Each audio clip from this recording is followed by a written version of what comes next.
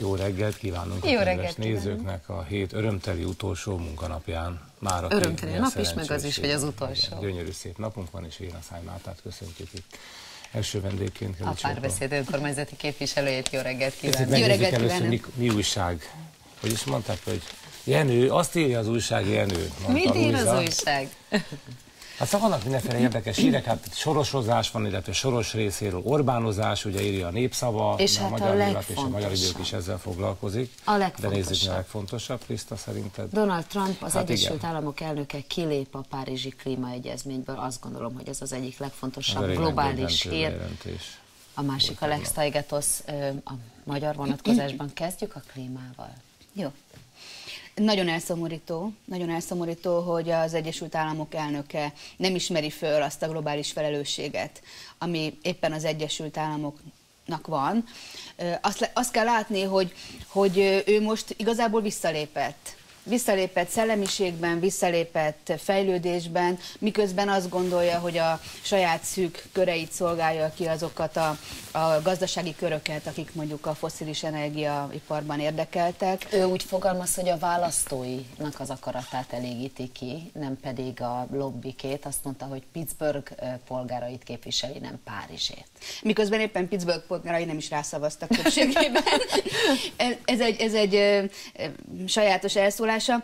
Szerintem egy politikusnak felelőssége van abban, hogy a választói akaratot azt jó irányban motiválja, jó irányban befolyásolja. A politikusi felelősség túlmegy azon, mint hogy van egy választói akarat, ami erre mutat, és akkor én megyek arra vaklóként. Egy politikusnak látnia kell a világméretű összefüggéseket, látnia kell azt, hogy merre vezet a fejlődés útja, és egyfajta erkölcsi missziója is kell, hogy legyen. Azt gondolom, hogy ezt most föladta Donald Trump, amiben az a szomorú, hogy az egész Egyesült Államokról az abban lévő minden jó szándékú és elkötelezett, a klímavédelem iránt elkötelezett állampolgáról is rossz bizonyítványt állít ki. Szerencsére nagyon sok állam bejelentette, hogy ők viszont folytatni fogják az egyezménynek a megtartását. És, és nagyon sok polgármester és kormányzó is, ugye nekik a hatásköreik azért lehetőséget biztosítanak arra, hogy megpróbálják megtenni a tőlük telhetőt. Így van. Hát, Mindenesetre rossz üzenet a környezetvédelem szempontjából minden esetre ez a döntés. Na nézzünk egy kicsit uh, itthon is uh, körül a saját házunk táján. Érdekes bejelentés, illetve kijelentés, vagy nem feljelentés, azt nem mondanám, mindesetre tény, hogy Nógrádi Györgyel szerződést bontott a Magyar Nemzeti Kereskedőház, Ugye ő a kormányzat egyik kedvenc biztonságpolitikai szakértője, és úgy ítélték meg mostantól nem fontos a munkája. Nógrádi György kereskedett? Nem mondanám, szakértői tanácsokat adott gondolom. Kereskedelmi ügyekben. Ne, hát külügyi témákban, de valószínűleg a bukásának vagy leváltásának oka az lehetett, ami nem is tudom mennyire jelent meg annak idén a sajtóban, hogy ő tett egy olyan hát eléggé bátor kijelentés, vagy megdöbbentő állítást április végén egy Dombomári fórumon, hogy a Fidesz egyik vezető politikusát bekérett az amerikai nagykövetség, és hát mint egy felkérték volna arra, hogy legyen ő egy alternatív Orbán Viktorral szemben, és ezt ő nyilvánosságra hozta, lehet, hogy ennek nem annyira örültek kormánykörökben, és így közvetve ezzel büntették? Még ez is előfordulhat. A tapasztalatunk az egyébként, hogy a Fidesz kormányzatnál az ilyen kiszólásoknak vagy kibeszéléseknek a belső körökből megvannak a súlyos azonnali következményei. Lehet, hogy ez az oka. Na de kérdés, hogy ha már itt van a következményeknél, tényleg most egy kicsit szálljunk több időt az eredeti témákra, aztán lehet, hogy még majd lesz olyan újságcikk is, amihez kapcsolódunk, hogy a felelősségnek a következmények. Hogy látja ön első kerületi önkormányzati képviselőként, hogy a most már a Fidesz köreiben is hát sokakat felháborító a Márkert bazár körüli visszaélések, mutyik és egyebek milyen következményekkel járhatnak? Lesznek-e következmények egyáltalán? Azt gondolom, hogy ha ráhagyjuk a Fideszre, hogy a következményeket megteremtse, akkor nem lesznek valódi következményei. Egy másik tolvaj fog a Válkert bazár élére kerülni, egy másik belső használatú közpénzkitalicskázó főember. Az a meglátásunk, hogy a Válkert bazár megépítése és üzemeltetése, az egész rendszer, ez csak a fő próbája mindennek, amit a Várnegyeddel akarnak csinálni. Ezért is döntöttünk úgy, hogy adatigényléssel élünk, és megpróbáljuk megszerezni mindazokat az információkat, ami egyáltalán megszerezhető, hogy megtegyük egyrészt a jogi lépéseket, valószínűsítetően. Milyen, milyen ö, információkat ö, és milyen módon próbálnak megszerezni, amihez eddig nem fért hozzá nyilvánosság? közérdekű adatigénylés keretében. Egyrészt azt a belső vizsgálatot, amire Elsimon László is hivatkozik, egy korábbi belső vizsgálatot szeretnénk megszerezni, illetve a most folyó vagy most lezárt átvilágításnak az adatait is meg akarjuk szerezni nyilvánvalóan. Azt gondoljuk, hogy ez ezekre mindenképpen szükség van, mert hogy mivel mondtam, ez a fő próbája a Várnegyed átalakításának, látnunk kell azt, tudnunk kell azt, hogy milyen tervek vannak az egész Várnegyedre vonatkozóan, és lehetőség szerint meg kell állítani. Hát elég jelentős nézetkülönbség lehet Lázár úr és Elsimon úr között. Ugye egy tegnapi híradós hírből is ez derült ki, hogy ha vannak gondok, akkor az csak Elsimon Lászlónak köszönhető, érezte Lázár János. Tehát itt az eléggé megosztanak a vélemények Fideszen belül is, hogy vajon minden rendben van-e, vagy esetleg vannak-e felelősök. Népszavam harmadik oldal Magyarország első az uniós pénz lopásában, zárójelben. Igen. Ezt a hírt, ezt most már ugye Jávor Benedek EP képviselőnk től is tudjuk, hogy a Európai Parlamentben most már eléggé egyértelmű, hogy Magyar- Magyarország az élen jár a közpénzeknek a felelőtlen és törvénytelen kezelésében.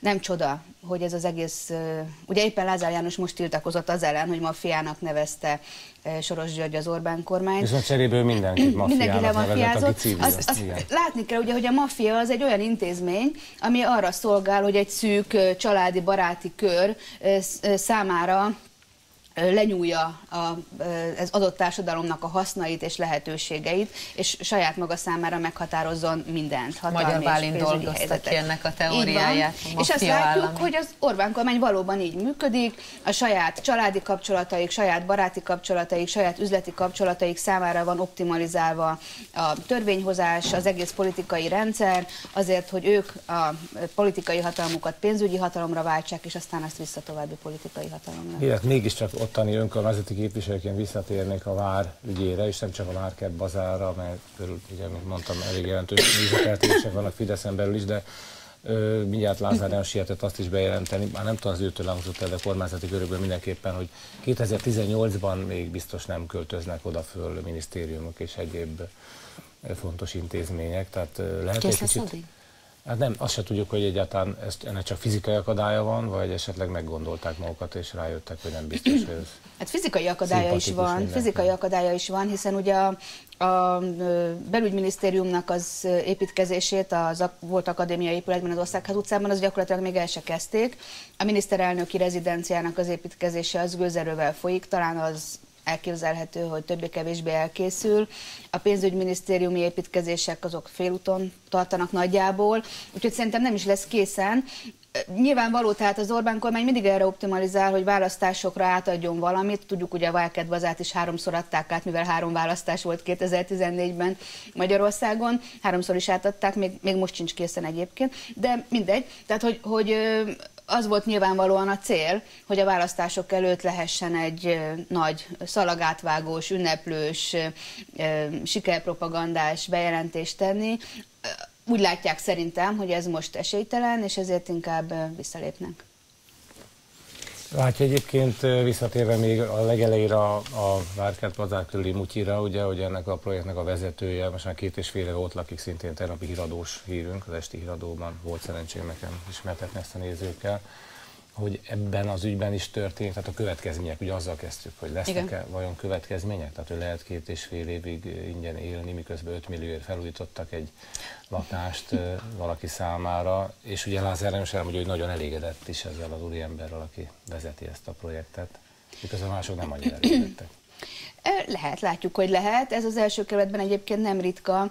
A mi kerületünk, a mi várunk, ha mondhatom így, annyira szép hely, hogy tényleg mindenki előbb-utóbb ott szeretne élni, ami teljesen rendben van, hogyha nem a mi pénzünkből teszi ezt, hanem a saját pénzéből teszi ezt, és valóban kifizeti a mondjuk a lakbérét, vagy kifizeti a lakásnak a felújítását.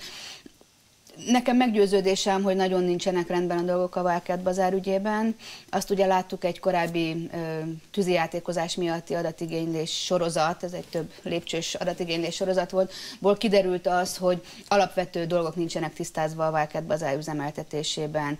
Gyakorlatilag engedély nélküli tűzijátékozás zajlik, haveri cégeknek adják bérbe az egész Wildcat Bazárt céges bulikra, akkor próbáltuk kikérni ugye az ügyvezetőnek a, a munkaszerződését, meg hasonló dokumentumokat, és, és teljesen tisztán látszott, hogy hatásköri viszonyok nincsenek tisztázva, alapvetően nincsenek tisztában azzal, hogy egy üzemeltetés milyen feladatokkal és jogszabályi előírásokkal jár. Egyáltalán nem csodálkozom azon, hogy, hogy ezek a jogsértések most kiderültek, és éppen ezért akarunk további lépéseket tenni, hogy fölgöngyörítsük ezt az egész rendszert. Hát sok sikert ez a tevékenységhez, és köszönöm, köszönöm szépen, hogy eljött. Én is köszönöm. Viszont hallásra, látásra.